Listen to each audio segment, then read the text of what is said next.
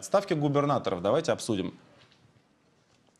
Это, а, с одной стороны, важнейшие политические события последней недели. С другой стороны, было забавно наблюдать, как людей, которых никто не знает, да, ну, может быть, за исключением жителей региона, меняют на других людей, которых никто не знает. И это все подается, боже мой, Путин сменил губернаторов. Как важно, кто? Одни непонятно кто, ноунеймы, другие, их заменяют другие ноунеймы.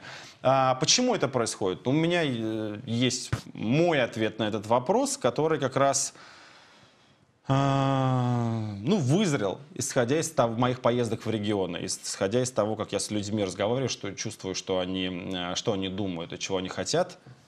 Всем очень сильно надоело непонятно что, не происходящее ничего. Вот как бы перед выбором есть какой-то запрос, типа «сделай что-то». Нам очень плохо, мы бедны, а, сделайте что-то, чтобы улучшить нашу жизнь. Сделайте хоть что-то, это вообще какой-то, ну просто какой-то ужас творится. А, а что они могут сделать?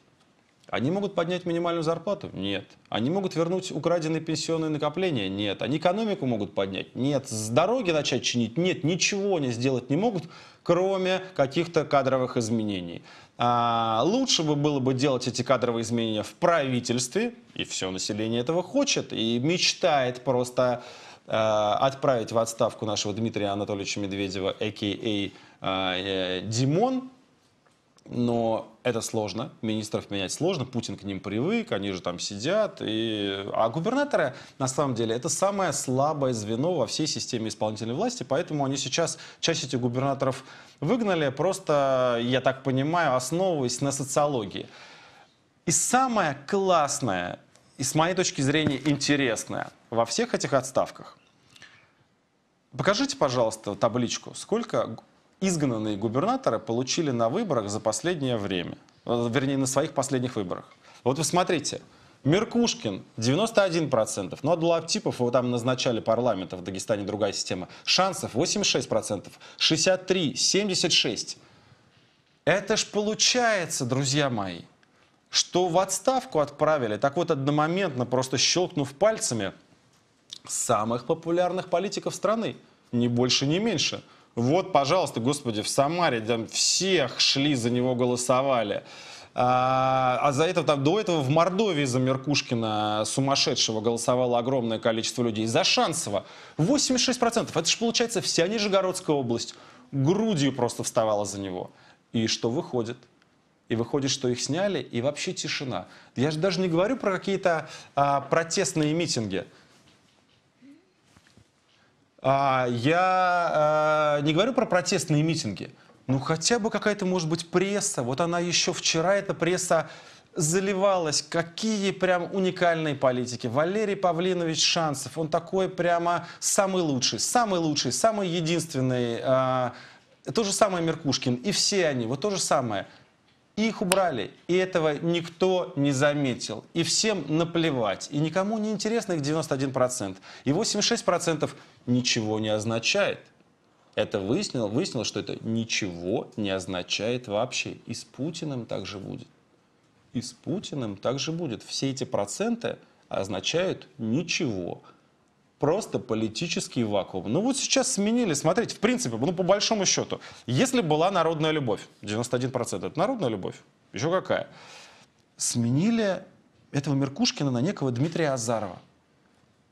И в Самарской области все такие, господи, кто такой Дмитрий Азаров? Что, почему Дмитрий Азаров? У нас сейчас такая популярная шутка, что э, губернаторов заменили и новые кандидатуры выбрали, потому что они все похожи друг на друга. Там действительно много людей, но вот просто э, они похожи настолько, вот на эта фотография была очень популярна в интернете, что они, видимо, в новом айфоне э, могут э, открывать телефоны друг друга, потому что там идентификация по лицу.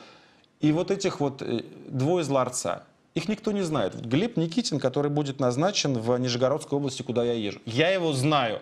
Я с ним даже, по-моему, судился, потому что он сидел в советах директоров всех компаний и покрывал ту коррупцию, которая там была, представляя интересы государства. То есть это на самом деле человек, который многие годы работал с коррупционерами и делал все, чтобы коррупционерам было хорошо.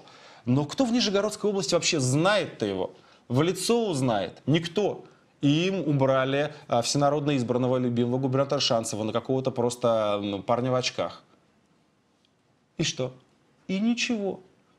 Это как раз означает, что все эти рейтинги, все разговоры про какую-то поддержку власти, они просто, вот просто перестаньте их повторять.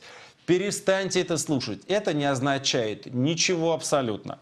А, интересно, вы знаете, я посмотрел, был такой в Красноярском крае, есть такой владелец, по-моему, местного телевидения, он Владимир Востров. Он написал очень правильный и интересный пост, которым я закрою тему губернаторов, про Толоконского которого э, сняли сейчас тоже. И идут разговоры, а почему же сняли Толоконского, то ли по возрасту, у него пенсионный возраст, то ли еще почему-то. И он задает правильный вопрос. А тут даже штука не в том, почему его сняли, а какого черта его назначили три года назад?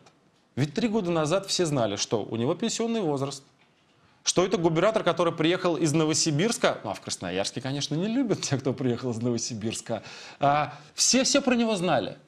Что он какой-то странный человек, что он непопулярен, но тем не менее не пойми зачем его назначили три года назад, сейчас не пойми зачем, его сняли. И это прекрасно показывает вообще всю кадровую политику в стране.